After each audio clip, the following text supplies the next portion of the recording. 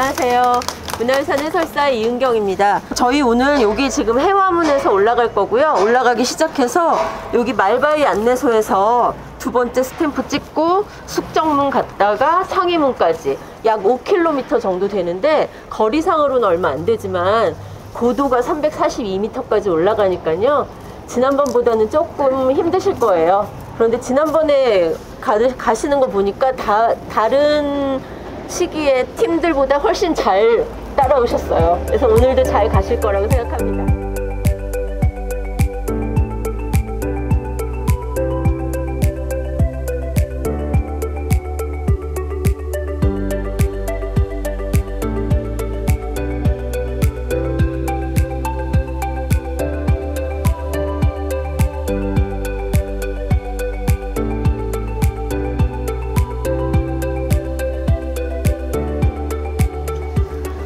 여기는 지금 해화문입니다. 지금 우리가 보는 해화문은 저 도로 동소문로에 잘려서 이렇게 원래 위치가 아닌 곳에 이전을 해서 만든 것입니다. 이게 옛날 해화문 사진이에요. 이거를 보면은 언덕길을 따라 쭉 올라가는 걸 볼 수 있죠. 이 언덕이 바로 이 옆에 도로였고요. 이 도로 낼 때 일제가 이 도로를 뚫으면서 그냥 저 밑에 있는 평지하고 똑같이 깎아버린 거예요. 그러니까 해화문을 이전했을 때는 그래도 옛날 높이에 맞춰서 이렇게 언덕 위에서 복원을 한 겁니다. 자, 지금 우리가 이제 안에는 지난주에 갔다 오셨고 지금 밖으로 성벽 밖으로 가고 있는데요. 여기가 이렇게 불룩하게 해서 곡선으로 뭔가 공사가 진행되고 있는 부분이 있고 이 안쪽이 넓은 마당을 가진 옛 서울시장 공관입니다. 그런데 이 서울 네네 서울시장 공관은요 서울시에서 만들었던 건 아니고 일제 강점기 때 조선 총독부를 짓고 그 거기서 최고 높은 총독의 관저를 지금의 청와대 자리 거기가 총독 관저였습니다. 그리고 여기는 일본이 이제 도시를 나눌 때 가장 그 특별시에 해당하는 거 경성부라고 했어요. 그래서 경성부에 부장이 살던 공관으로 지은 겁니다. 그게 이제 대한민국 정부 들어서면서 대법원장 공관으로 쓰다가 20년 동안 서울시장 공관으로 거의 40년 썼어요. 그러다가 이제 이거를 없애자. 아니다. 이것도 흑역사지만 우리의 역사니 남겨둬서 뭔가를 활용하자 해서 지금 해화동 한양도성 전시안내센터로 쓰고 있는 겁니다. 저희가 여기서는 성벽을 보실 수가 없고 또 점점 가면은 성벽이 거, 성벽이 있긴 있는데 지금 펜스 쳐놔서 못 보는 거고 성벽이 완전히 어, 거의 흔적만 남아있는 구간도 있고 이렇습니다. 그래서 성벽이 다시 나오는 구간까지 좀 골목길을 가러 가시겠습니다. 그래서 마이크 볼륨을 켜지 않겠습니다. 지금 이렇게 저기 하얀 펜스 쳐놓은 데까지가 서울시장 공관이고요. 그 옆은 지금 빌라의 축대 축대로 성벽에 청돌이 남아있는 모습입니다.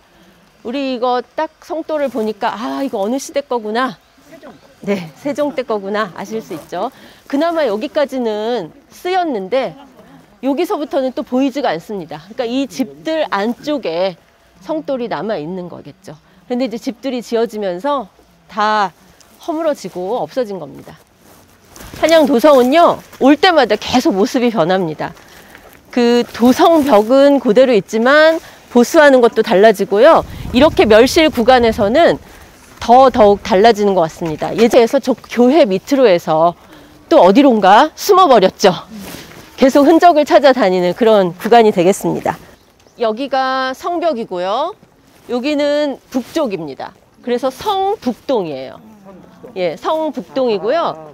그러면 이 성북동에서 집을 지으면 앞을 보고 지으면 당연히 북향이 되겠죠. 자, 이 지금 우리가 보시는 이 학교는요, 경신중고등학교예요. 여기는 미국 북장로회 선교사였던 언더우드라는 사람이 세운 학교입니다. 네, 이제 지금 경신중고등학교에서 길을 건너서 이 앞으로 가셔야 성벽을 따라가는 길입니다. 그래서 예전에는 여기 밑에 이렇게 도성길이다라는 좀 다른 색깔로 표시를 해놨었거든요. 여기 여기 조금 빨간색 보이죠? 네. 이게 그거였는데 여기 보수 공사를 하면서 다시 그걸 칠해놓지 않아가지고 좀 좀 아쉽습니다. 그래서 경신 중고등학교에서는 그래도 저 학교의 담장에 조금이라도 성벽의 흔적이 남아 있었는데 여기 서울과학고등학교고요. 그 옆에 서울국제고등학교입니다. 이쪽으로는 어, 성벽이 전혀 남아 있질 않습니다.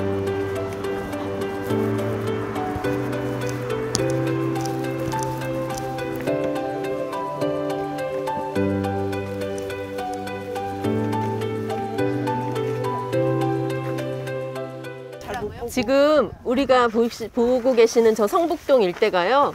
어, 우리도 지금 보고서 아 옛날에 정말 좋았겠다 이런 생각이 드는데 실제로 조선 시대에도 어, 이곳을 많이 탐내면서 많은 그 귀족들이나 아니면 귀족이 아니었는데 돈을 왕창 벌어서 별장을 짓거나 하면은 이 성북동에 많이 지었습니다. 그래서 이제 그 중에 그냥 별장이 아니고 일제 강점기에 우리나라에서 자꾸만 빠져나가는 국외 어, 문화재를 우리나라 문화재를 반출시키지 않기 위해서 자신의 전 재산을 털어서 그 문화재를 지킨 분이 계시고요. 그분이 이제 간송이라는 호를 쓰시는 전형필이라는 분인데 어, 민족 사학을 또 지키기 위해서 보성고등학교를 인수하시고 이랬습니다. 그래서 이제 그렇게 자신이 전 재산을 털어 모은 우리 문화유산을 뭔가 전시를 할, 보관을 할 곳이 필요하다. 그래서 1938년에 보화각이라는 이름으로 우리나라 최초로 사립 미술관을 지었습니다.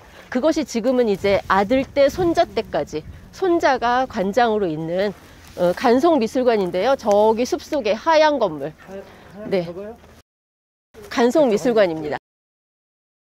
네. 지금 우리가 오르고 있는 백악산이요. 어, 39년 동안 여기를 닫아 걸었습니다. 그리고 곳곳에 그 김신조가 내려온 루트가 지금 보이는 저 뒷산이 저 뒤로 저기 뾰족하게 바위 봉우리 하나 보이시죠? 거기가 북한산이에요. 북한산에서 이 백악산까지가 쭉 줄기로 내려오는 겁니다. 그러면 저 북한산에서 더 뒤로 가면 도봉산, 도봉산에서 좀 더 뒤로 가면 연천, 넘어가면 북한이에요. 그러니까 그 산줄기를 따라 쭈르륵 내려올 수 있었던 겁니다. 그래서 이 백악산과 북한산 사이에 꼭 지금은 우리가 드라이브 코스로 이용하는 북악 스카이웨이 이런 것들이 그 산길을 차단해서 어, 몰래 몰래 다니는 사람이 없도록 하려는 그런 의도였었습니다.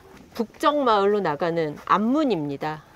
그래서 뭐 전혀 위에 문루가 보이지 않죠. 문루가 보이지 않는 이런 문을 암, 어두울 암자를 써서 암문이라고 하는데 이 앞문이 곳곳에 어, 조선시대에도 있었을 것으로 보이고요. 이렇게 현대에도 냈습니다. 왜냐하면 이 바로 밖에 있는 동네에서도 여기 편하게 올라올 수 있게 네, 그런 걸 좀 편의를 위해서 만들었고요.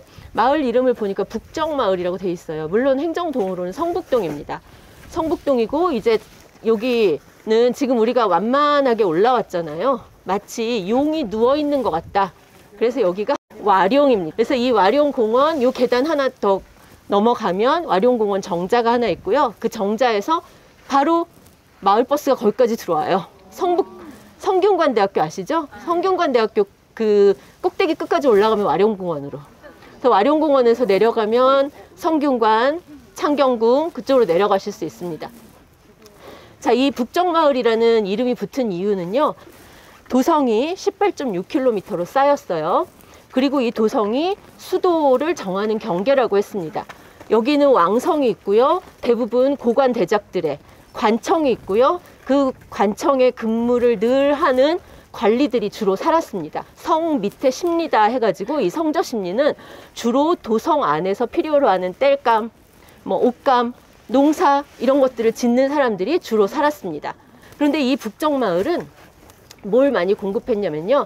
표백해가지고 옷감을 표백해갖고 된장을 만들고 이런 사람들이 먹거리를 만들어서 공급하는 거예요.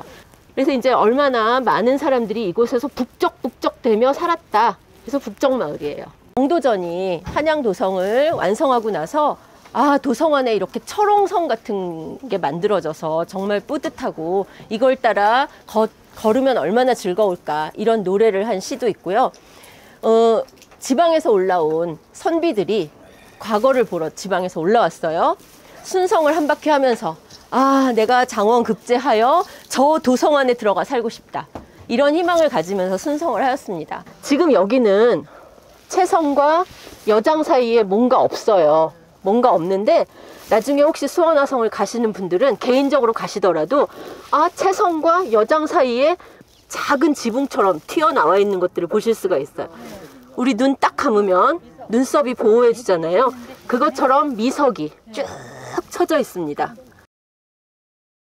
그래서 요 거는 그런 미석이 없다 보니까 자꾸만 물이 침투하면 배불 안에 있는 흙이 불어서 안에 물을 머금고 있다가 겨울이 되면 그게 얼면 팽창해서 그러면서 배불림 현상이 나타나는 겁니다.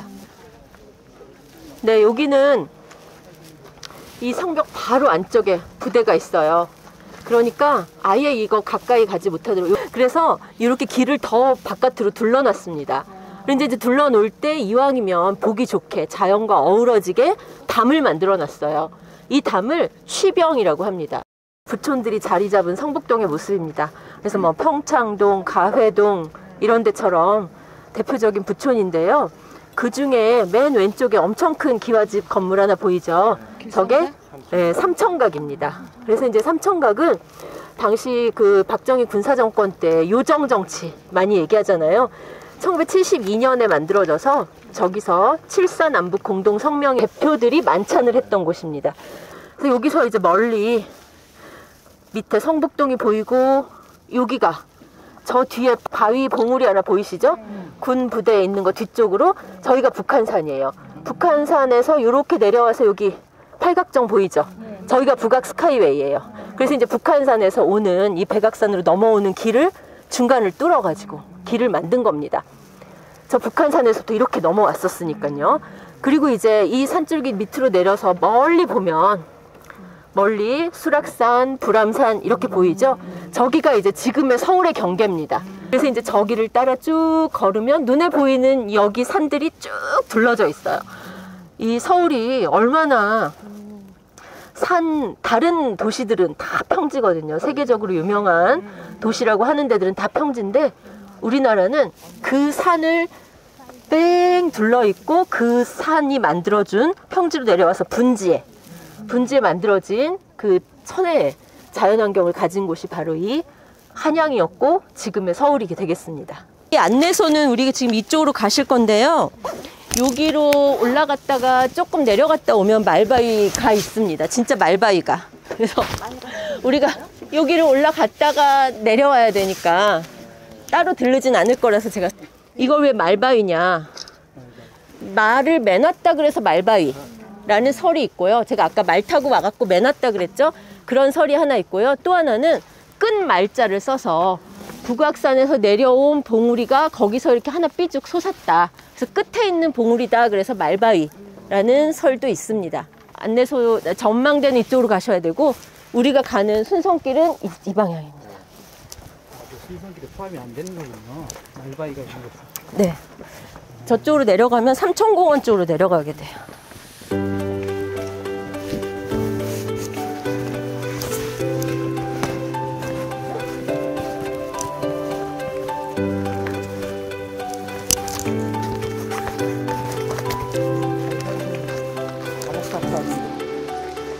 지난주까지만 해도 폐차를 받아야 했는데 오늘부터 갑자기 없어졌네요. 네.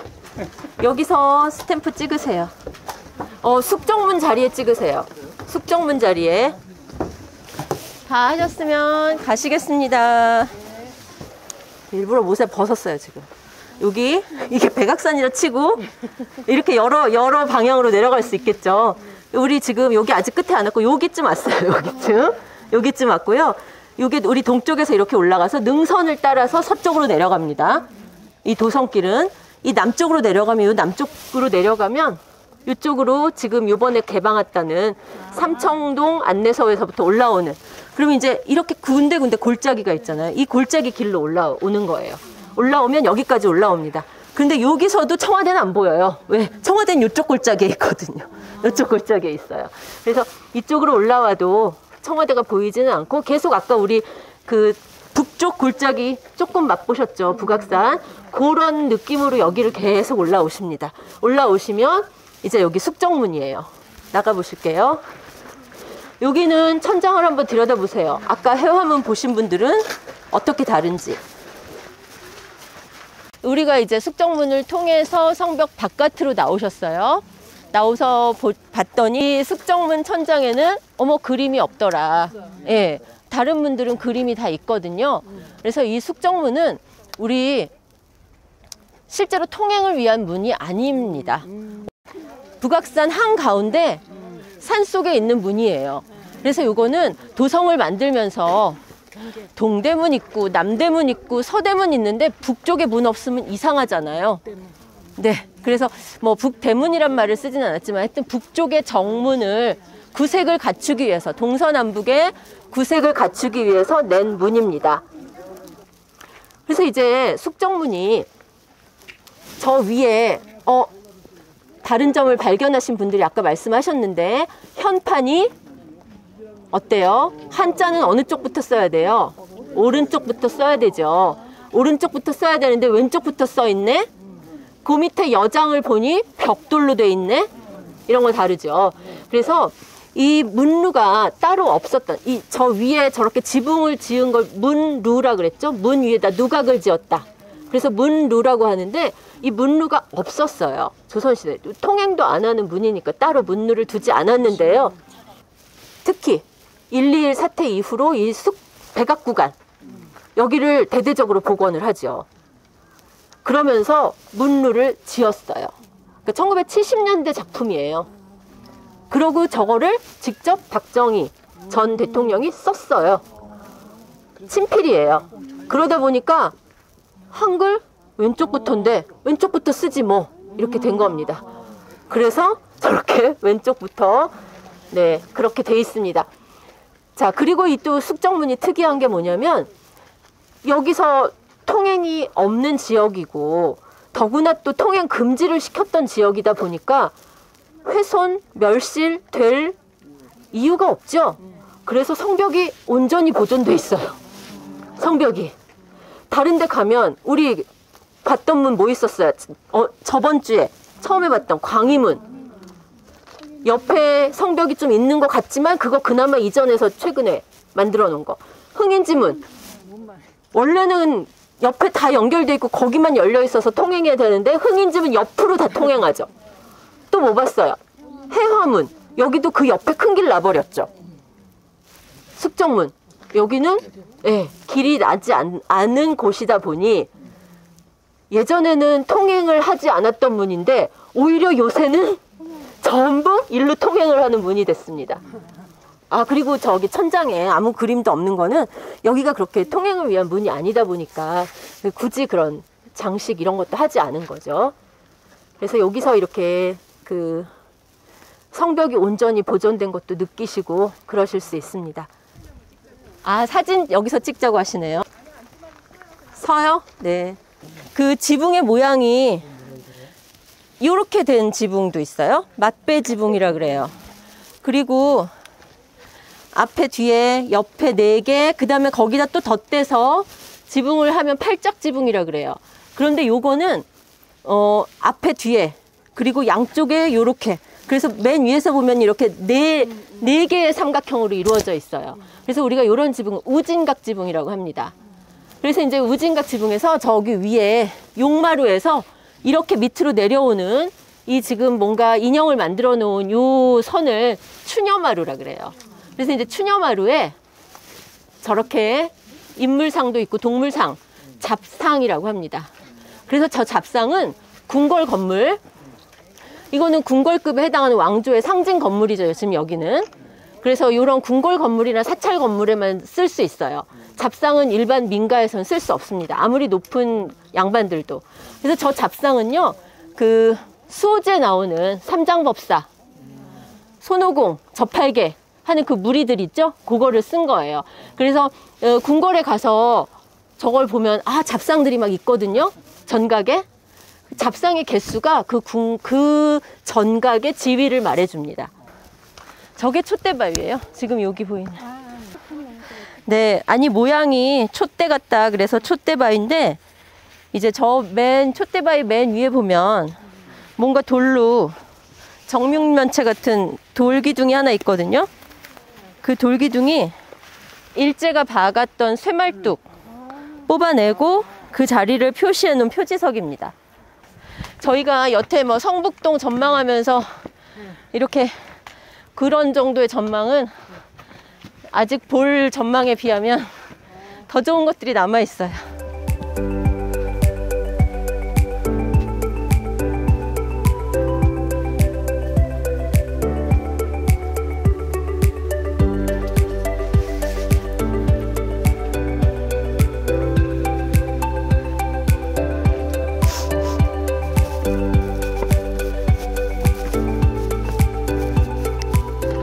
저 청운대는요 원래 조선 시대에 만들어진 그런 전망대는 아니고요. 전망하는 곳은 아니고 저 배강마루 우리가 이제 지금 이제 고지가 더 눈앞이에요.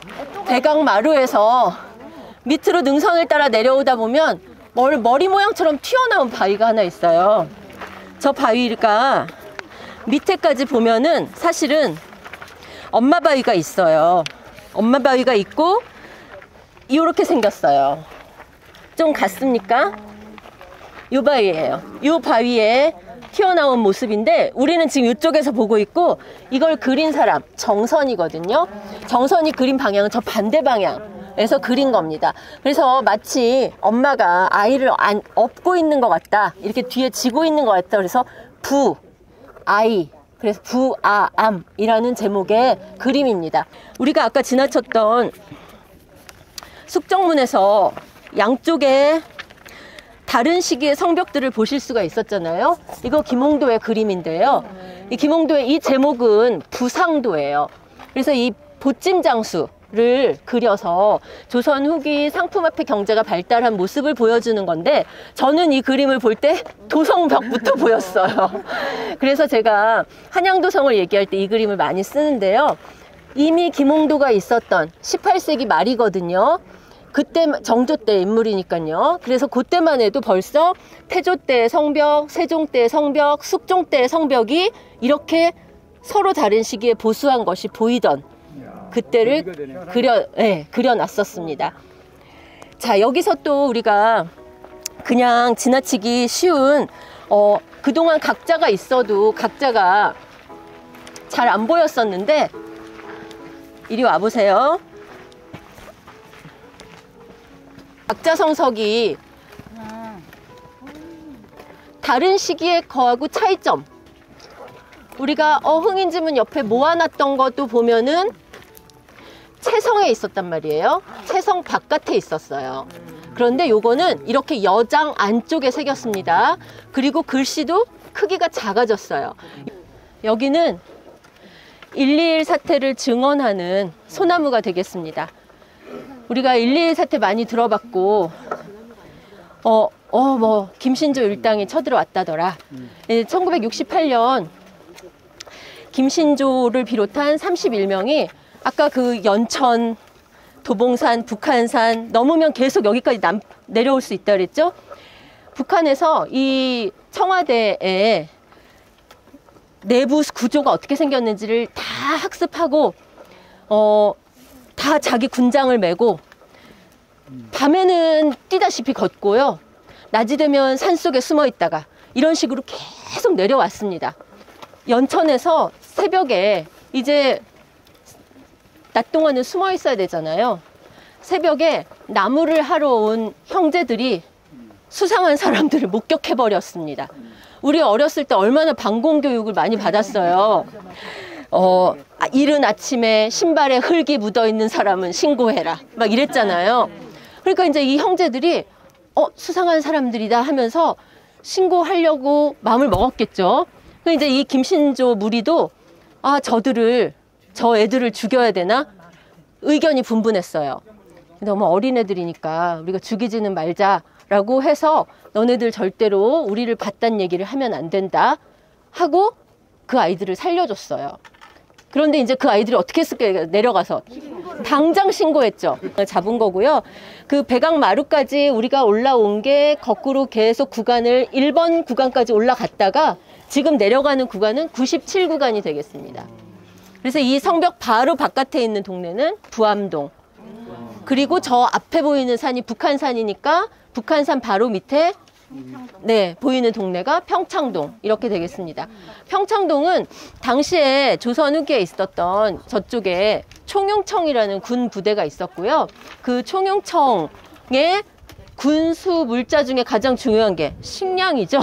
네. 식량을 보관하던 창고가 있어서 평창이 되는 겁니다. 네. 지금 우리가 여기서 지금 이따 경복궁까지 내려가는 자하문로, 창의문로 이렇게 길이 이- 이름이 붙어 있는데 전부 물길입니다. 그 물길을 따라 이따 걸어서 좀 내려가 보실 텐데 그렇게 물길이었던 곳들이 지금은 전부 복개가 돼가지고 어, 길로 쓰고 있죠. 그러니까 이렇게 서울에서 가장 높은 산이 있- 있는 곳이다 보니까 자연히 여기서 내려가는 전부 물길이었던 거예요. 경복궁 옆에 삼청동, 그 밑에 인사동 전부 물길이었습니다. 네, 여기 이, 저 인왕산에서 내려가는 옥인동길 전부 물길이어서 아, 강남에 가면 길이 반듯반듯하고 좋은데 강북은 왜 이렇게 꼬불꼬불해? 물길이어서 그래요. 거죠. 네. 여기서요, 이제 한 번만 더 지금처럼 가파른 길을 내려가시면 바로 창의문입니다. 창의문까지 조심해서, 마지막까지 조심해서 내려가셔야 돼요. 딱 긴장을, 마음의 긴장을 풀면 다치시니까 조심하시죠.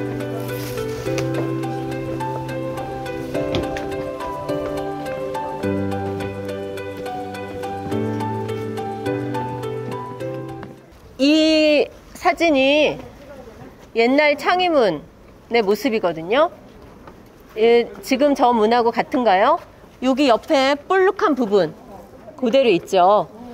그래서 비록 저 왼쪽으로는 길 때문에 끊겼습니다. 그래서 아까 그렇게 문의 성벽이 쭉 이어진 건 숙정문이다 그랬는데 숙정문 문루는 또 70년대에 지어진 거다 보니까 이 창의문은 제자리에 없어지지 않고 그대로 지어진 있는 그런 문이 되겠습니다. 의를 떨친다 그런 뜻의 이름인데요. 이 그러면 저 문이 저렇게 문루가 지어진 건 언제냐? 영조 때입니다. 1720년. 네, 영조 때고요. 이 문이 왜 이렇게 의를 떨친다라는 이름이 붙었을까? 요 밖에 나가면 부암동, 그 부암동 쪽에 보면은 북한산에서 내려오는 천이 흘러가요. 홍제천. 들어보셨죠? 그 홍제천에도 어, 북한산까지 성을 쌓고 숙종 때 성을 쌓고 거기다가 문을 냈어요. 홍지문. 그러면 이제 그 개천가에서 어 광해군을 몰아낸 인조를 옹립하는 세력들이 있었죠. 그 세력들이 그곳에서 세검정이라 불리는 곳 아시죠? 그 세검정에서 칼을 씻었다 그래서 세검정이에요. 그래서 거기서 결의를 다지고 이 문을 향해서 안으로 진입합니다. 그래서 창덕궁까지 들어가는 거죠.